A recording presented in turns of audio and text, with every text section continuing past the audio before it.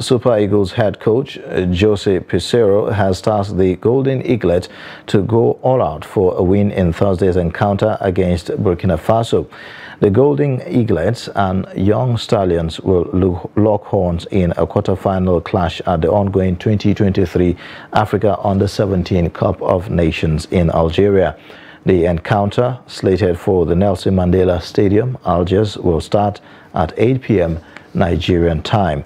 The winners and three other countries will host Africa's flag at the 2023 FIFA Under-17 World Cup.